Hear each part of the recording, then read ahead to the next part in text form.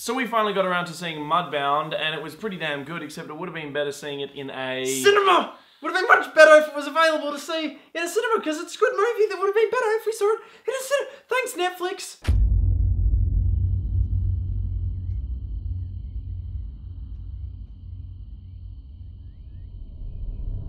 But of course, we do want to thank Netflix for bringing this great movie to its platform where more people will be able to immediately access it. Uh, this film is based on the book by Hilary Jordan. It is directed by Dee Rees, who also wrote the script for it. It has a fantastic cast, including Jason Mitchell, Garrett Hedlund, Carey Mulligan, Jason Clarke, Rob Morgan. Mary J. Blige, and our boy, our big boy from Better Call Saul, Jonathan Oh, yeah, we got Jonathan Banks in this. There you go.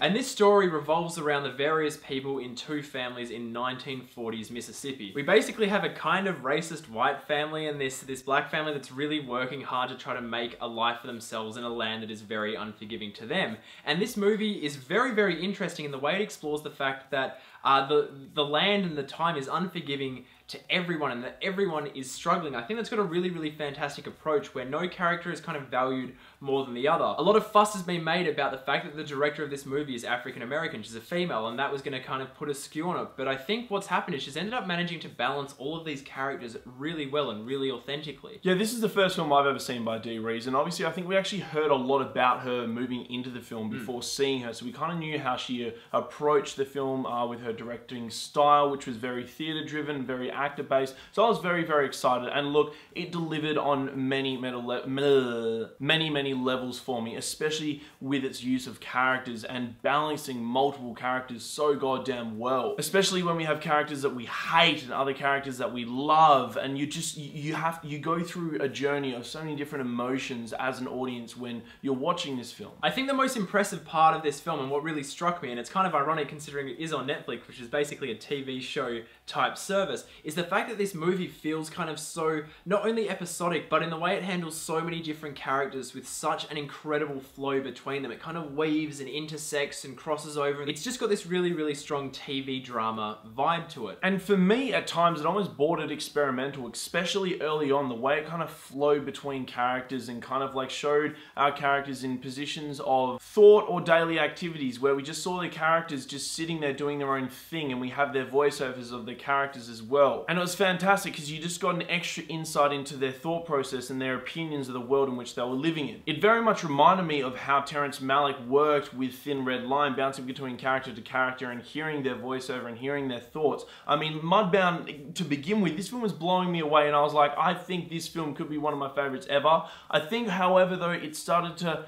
drift or it didn't, it kind of lost its flavor later on in the film. I think we both have very distinctly different kind of issues with the film and I think it's still a very very good movie and I think this kind of for me at least comes down to more of a personal thing because on a construction level every single choice in this movie is clearly made clearly defined and they all work. I was watching this movie really late at night I was absolutely exhausted I was feeling really restless and now this is part of the problem I have with watching a movie at home as opposed to watching it in a cinema where it is a locked in experience but uh, this is a gorgeously shot film. It is really, really fantastically photographed. The, the images are fantastic. The way it is lit is absolutely gorgeous.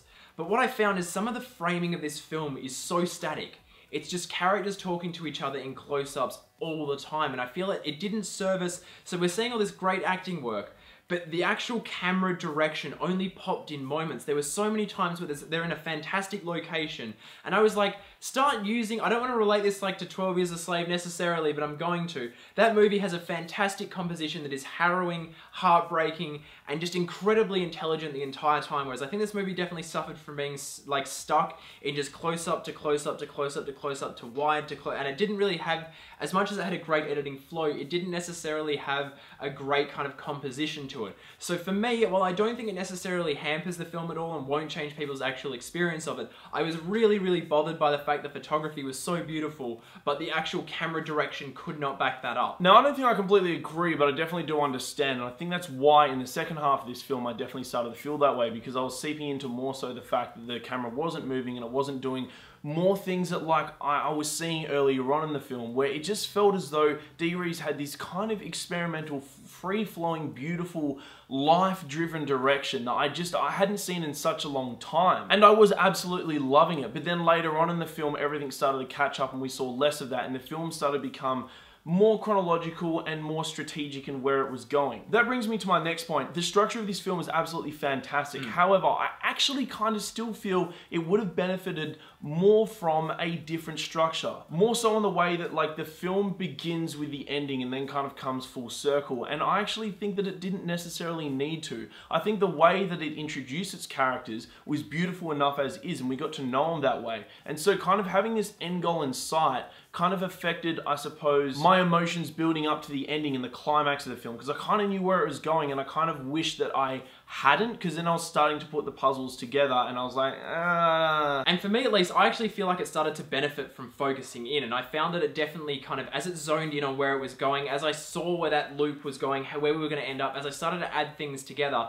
I actually managed to appreciate what was done in terms of the construction even more. So I think this is a movie where I don't really see anyone watching this and not saying, hey, that was a good movie, but I think there's certain things about it that some people may or may not click with. As you can see, we both completely are in agreement that it is a great film with so many great elements, but the fact they may not necessarily all click uh, will kind of vary from person to person. I think so for sure, and I think it's because early on I was just so blown away by some of the stuff it was doing, and later on I wasn't. I kind of had this uh, juxtaposition of feelings where I was like, I'm loving this, and I'm not so much loving this. So it was kind of it was a, it was a weird viewing. The thing that does remain consistently great though is the performances. They are very understated. There's not really any moments where characters kind of explode, but I think really like emotionally, it's a very very volatile volatile film. It manages to put characters together that are going to clash no matter what because they are they all come from different contexts. The film does a really fantastic job of exploring that, who they are now, who they were before, where they want to go. And when you start putting that all together, it really, really works.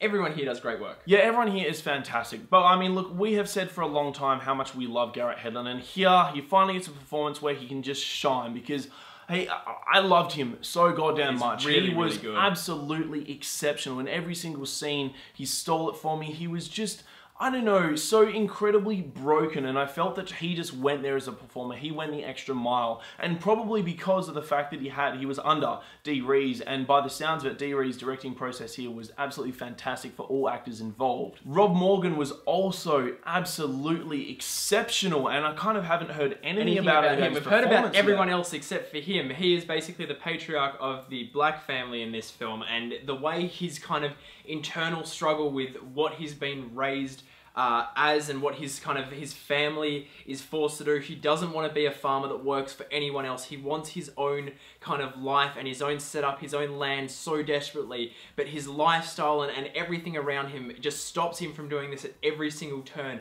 And watching him just boil over and that frustration just grow is just incredible. There's certain scenes in this movie that he has that were just absolutely astounding. Jason Mitchell and Carey Mulligan also do fantastic work. Carey Mulligan has always, I mean, I don't think I've ever seen a performance from her that was bad. She is just a truly exceptional actress that does not get enough attention. I am definitely seeing for certain people across the board, including Mary J. Blige, uh, will also like be looking at Oscar nominations. There's definitely talk of them getting awards. I think there's definitely a lot of attention deserving towards this film, particularly when we get to the SAG Awards and we have the uh, ensemble nominations. I definitely see this film being put up in there because the entire cast collectively just coheres fantastically. And overall, I think the film builds to a really affecting ending. And I think what we've said along the way is that it's a great movie. No matter what, I think people will get a lot out of it. It'll just kind of depend from person to person uh, what actually works for you and what doesn't. But I think overall the film is definitely uh, mostly there. And I think a lot of people are going to get a lot of stuff out of this. We really, really enjoyed it. I'm giving this one a 7.8 out of 10. And I'm giving this one an 8.5 out of 10. It's a demanding, visceral film, and we just could not recommend it more. Another banger from Netflix. So that was our review of Mudbound. Have you seen it yet? Did you like it? Did you hate did it? Did you like this video? Of course Crave more banter. If so, you can subscribe to our YouTube channel down there somewhere. And don't forget to check us out on Facebook, Instagram, Snapchat, and Twitter, all at Breaking Banter.